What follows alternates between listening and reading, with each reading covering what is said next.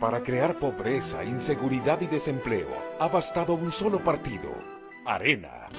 Para reconstruir el país, para recuperar el bienestar de la familia, el trabajo, el salario, la seguridad, la salud y la educación, hacen falta muchas voluntades. Las de todos los salvadoreños, porque a El Salvador lo salvamos entre todos.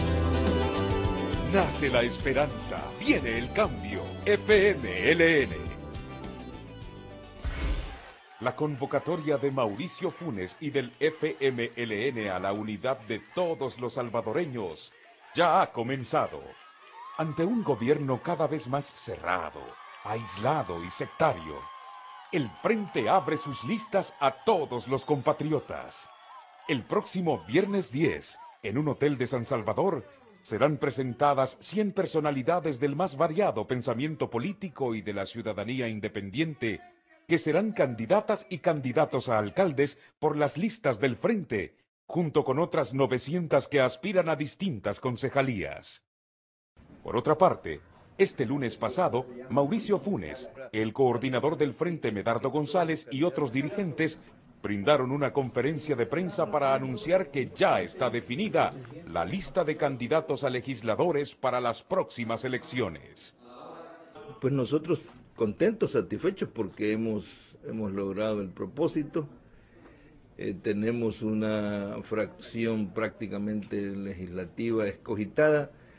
Eh, con mucho orgullo quiero decir, el 45% de esa nueva bancada eh, van a ser ocupados por, por mujeres, mujeres jóvenes y adultas. Eh, también el 25% de toda esa, esa, bancada va a ser ocupado por personas eh, mayores de 25, porque así lo exige la Constitución, pero menores de 31 eh, nuestro partido es, eh, es de avanzada en, esto, en estos temas, quiero yo decirlo, con satisfacción de todos nosotros. Al mismo tema se refirió Mauricio Funes. Fue un sano debate, producto de una clara expresión de la vivencia democrática que hay al interior del FMLN. Ahí no se impuso el criterio de nadie, fue el resultado de la discusión y al final, en forma unánime, se aprobó la propuesta que traía la Comisión Política al Consejo Nacional para los candidatos a diputados y diputadas de la próxima bancada legislativa.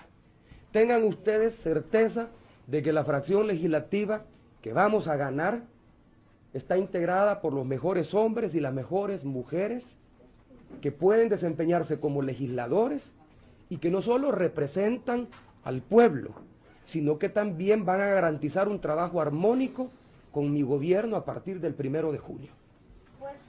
La prensa solicitó también al candidato presidencial del FMLN su opinión acerca del presupuesto presentado por el gobierno, que ha sido utilizado como un acto de campaña y no como una herramienta de políticas que favorezcan al pueblo hemos llegado al convencimiento de que hay que dejar claramente planteada nuestra posición, porque luego después otra cosa se dice en los periódicos, en la radio, en la televisión, y otra cosa sale diciendo el presidente de la República y el candidato presidencial de Arena. El FMLN, los diputados están dispuestos a aprobar el presupuesto, a dar sus votos para la aprobación del presupuesto, pero esto no significa que van a renunciar al derecho que les asiste como legisladores de hacer propuestas de reasignación de fondos porque no estamos de acuerdo en las partidas actuales tal como las ha presentado el ministro de Hacienda.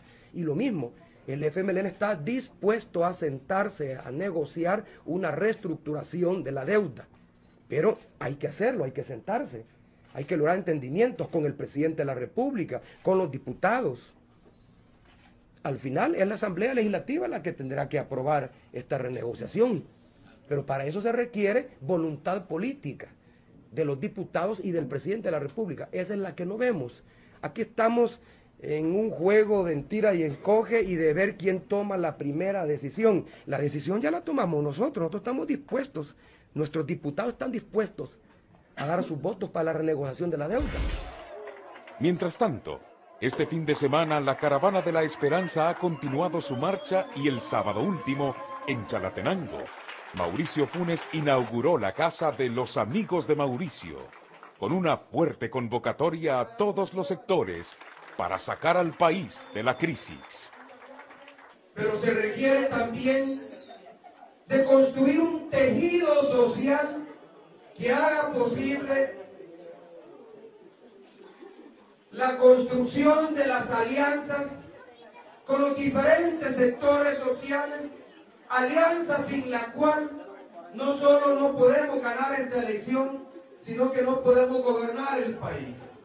Necesitamos construir una alianza con los empresarios de todos los tamaños. No importa el capital en juego. Lo importante es que son emprendedores privados que generan empleo y generan riqueza. Micros, pequeños, medianos y grandes empresarios de las diferentes actividades del quehacer económico nacional. Agricultores, ganaderos, industriales, comerciantes, artesanos, empresarios que los necesitamos no solo para ganar, sino que para gobernar este país. Para crear pobreza, inseguridad y desempleo, ha bastado un solo partido, Arena. Para reconstruir el país, para recuperar el bienestar de la familia, el trabajo, el salario, la seguridad, la salud y la educación, hacen falta muchas voluntades, las de todos los salvadoreños, porque a El Salvador lo salvamos entre todos. Nace la esperanza, viene el cambio. FMLN